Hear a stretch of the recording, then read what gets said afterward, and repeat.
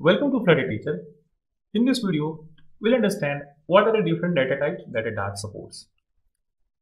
For simple understanding, I have categorized the Dart data types into two different categories.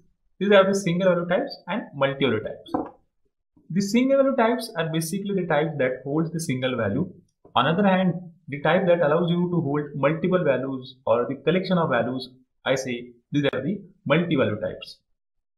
The numbers, string and booleans are actually the type that holds single value. On other hand, in Dart, list, set and maps allows you to hold the multiple type of values. In this video, I am restricting myself just for explaining the single value type using number, string and boolean. Numbers in Dart are basically represented using int and the double keyword. Integers are basically used to store the whole number values such as the value of each, the value of year, the value of day and so on. Integer actually stores the value that ranges from minus 2 raised to the power 63 to plus 2 raised to the power 63 minus 1 and on the web platform integers are actually presented by JavaScript number. It is actually a floating point value without a fractional part. Let's look at some example for creating a variable using number type.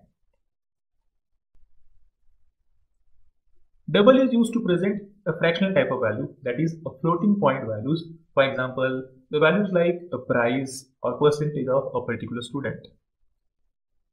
Double supports 64 bit of values which is specified by IEEE 754 standard. Let's look at some example to create the variable using double.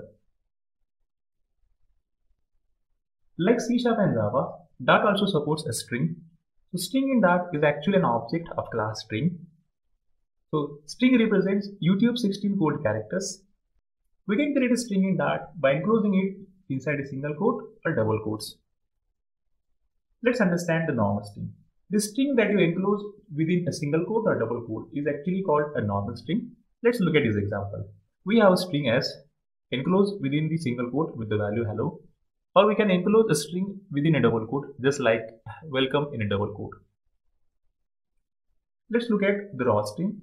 Basically, raw strings is a string that you want the Dart compiler should not interpret as a special string. That is, it should ignore all the escape sequence characters in the string and it has to be interpreted as it is given by the programmer.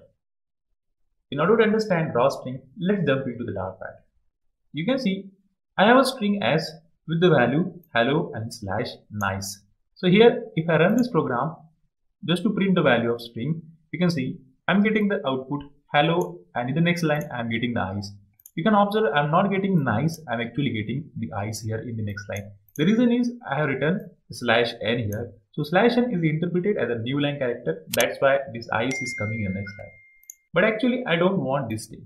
So when I prefer my declaration with small r keyword here, and if I rerun the program, you can see the magic.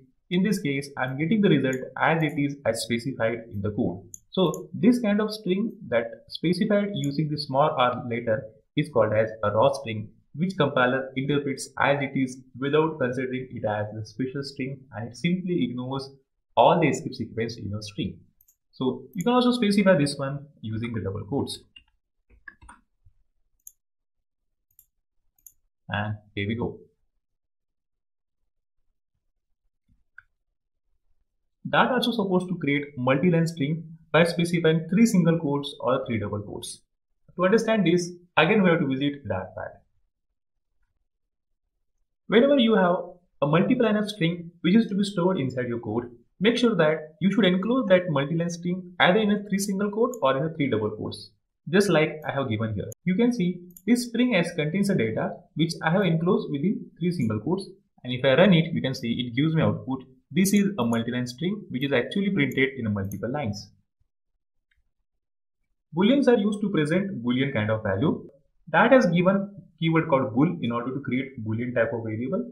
So boolean variable can either store the value true and false and make sure this true and false these are actually a compile time constant. Let's look at some example. That's it for this video. See you guys in the next video. If you really like this video helpful, then don't forget to like, share, subscribe my channel and hit the bell notification button to get my latest videos.